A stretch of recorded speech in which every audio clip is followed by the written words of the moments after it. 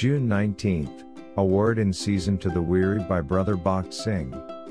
For as the body is one, and hath many members, and all the members of that one body, being many, are one body, so also is Christ. 1 Corinthians chapter 12 verse 12. The Corinthian believers were divided into many groups. They began to call themselves by different names. 1 Corinthians chapter 1 verses 12 and 13. When we call ourselves by different names, such as Baptist, Methodist, Anglican Brethren, Pentecostal and so on, it brings division. We all belong only to Christ. We have no right to be called by any other name.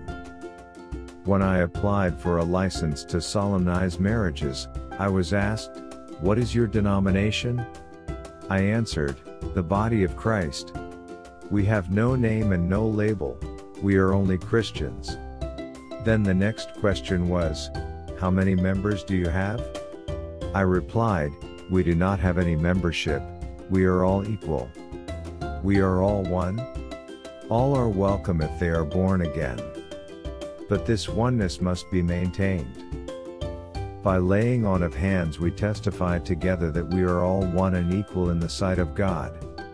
Whatever education or wealth or position we have, it is only by the grace of God. But by the grace of God I am what I am, and His grace which was bestowed upon me was not in vain, but I labored more abundantly than they all, yet not I, but the grace of God which was with me. 1 Corinthians chapter 15 verse 10. Paul the apostle labored more abundantly than other apostles, only because of the grace of God.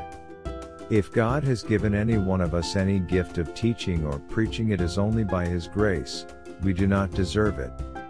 We are saved by his grace.